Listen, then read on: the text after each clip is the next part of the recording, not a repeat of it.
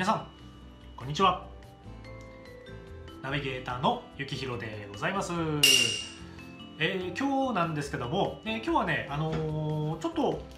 まあ道具でね、えーまあ、一番コーヒー、まあ、ペーパードリップで一番重要なものといえばペーパーでございます。そのままなんですけども、えっと、今日はねちょっとペーパー音のご紹介っていう感じになりそうなんですがえっとですねこれになります。じゃんはい。これねあのオールラウンドペーパーなんですよ、えー、まあ安清式オールラウンドペーパーっていう形でねこの丸いペーパーがあるんですね。あの今日これご紹介しようと思ったのがですね、まあ、なんでかって言いますとあのまあ僕もね長年ちょっと使ってきたあのこういったケメックスというあのこういったねガラスのドリッパー、まあ、一体型のドリッパーですね。こちらなんかを使う時にあのー、まあ、ケメックスはケメックスで専用のペーパーがあるんですよね、まあ、もっと改良されたなんかこうなんかね切られたやつなんですけども。まあそれとは別にですね、えっと、例えばねセイント・アンソニーとかあのー、ちょっとこう縦型に入れるものていうんですかね。結構僕好きな形なんですけども、まあ、豆の配置がこう縦に入るタイプのものにはあのちょっと長細くねこうペーパーをこう使ってあの通常のあの、まあ、カリタハリオとかえー、そういったですね円錐形のあのこういったねこういったものとかではなく、えー、また台形とかではなくねちょっとね細いタイプのペーパーを使うんですね。でそれができるのがこういった感じのペーパーになってます。で、えー、何社かあるんですけど、まあ、僕も何個かね使ったことはもちろんあるんですけど、まあ、そのケメックスのペ専用ペーパーなんかはですね、えーとまあ、ちょっと難点が一つ、えー、高いんですよね。価格がちょっと高いので、まあ、しっかりしてるんですけどまあちょっと毎回買うにはきついかななんて思ったりとか、まあ、そういったこともあったんですで、えっとまあ、代用品で、えっとまあ、違うメーカーからねこういった同じようなこういった丸いペーパーとかあの出てたんですけど、えー、今回ねこの安清式オールラウンドペーパーというのはですね安い。とにかく安い。100万円入りでねあのあるんですけど、まあ、あのとにかくその、まあ、価格はね、まあ、いろんなところでちょっと違ったりするので一概に言えないんですけどなのでね結構ガシガシ使えるので、えー、ちょっと今日ねご紹介したかったんですね。えっ、ー、とまあ、このオールラウンドっていうからには、まあ、いろんなものに使えるということで今日はちょっとその使い方をちょっとご紹介したいなと思いまして、えー、今日はちょっとねいろいろ道具に合わせて、えー、やってみたいと思います。はい、えー、今日はね一通り道具を揃えてみました。一応ですね、えー、説明書は、うん、こんな感じになってますね、えー、上からいきますと一応円錐形のですねドリッパーとあとケメックスのロックアップ用というので、えー、一通り。えで、えー、三つ穴ドリッパー用ですね、まあ、これは最後にこう下をクッと折るタイプなんで、まあ、台形でも使えますよっていう感じ。で一番下なんですけども、まあ、これはあの、まあ、僕が結構ね大好きなセイント・アンソニーですとかケメックスの3カップ用、まあ、よりこう縦にこうね豆が配置できるような形で折るということができます。ケメックスの6カップ用になります。これに対して、えー、このペーパーですね、えーとえー、これは単純ですね、えー、まず半分に折ってこれを半分に折ってでこうなったらですねこのこここの3123 3つ溝ができるような感じで、まあ、ここはもちろんねこう開いちゃうのであれなんですけどここをまあ、パッと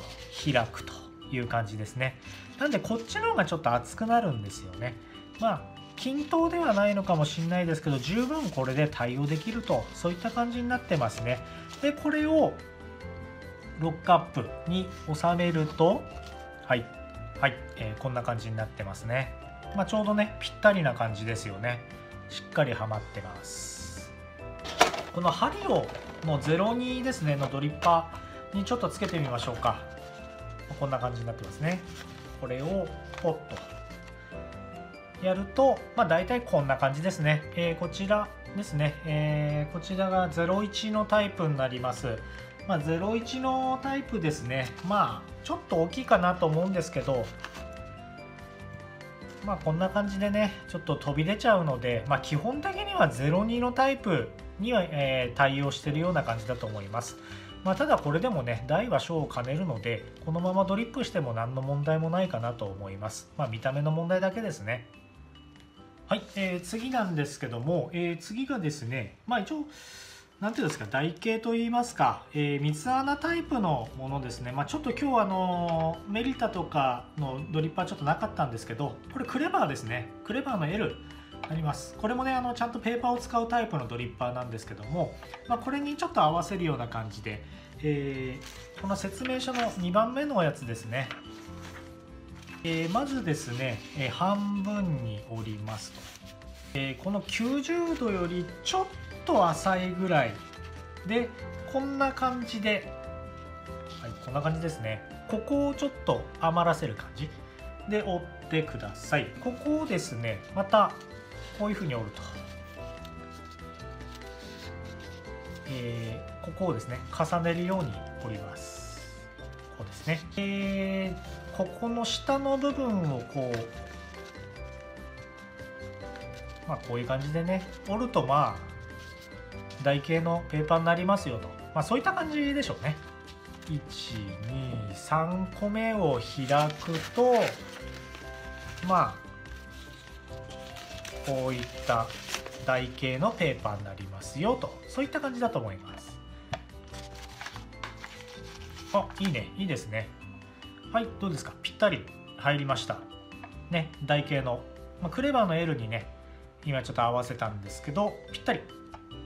ですね、うんいいと思います、えー、そしてこちらがセイント・アンソニーの、えー、フェニックスの70ですね。はいこんな感じでかっこいいドリッパーになってます、まあ、本来ねこういったタイプのものの本領を発揮するのはこの折り方ですね。こういったものに今までねあの特殊だったんでやっぱり若干高かったペーパーが多かったんですけどその点これは対応できますよというのでしかも低価格ということで、えーまあね、出てきたペーパーになってます。ではちょっと折っていきましょう。半分にしましてであとも3分の1になるだけなんですよ。あのさっきの6カップ用だと半分にしましたけど3分の1はいこうですね。でこれをこうすると。はいこれだけです。で、えー、またこのね間のここですね。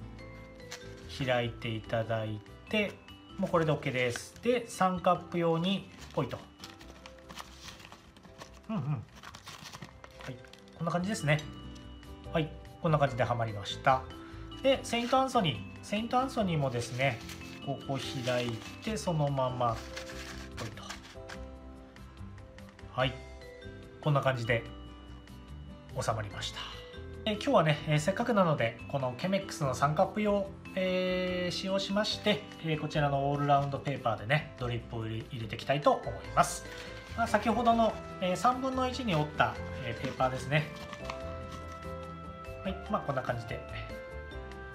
セットしました。あとは豆をセットしていきます。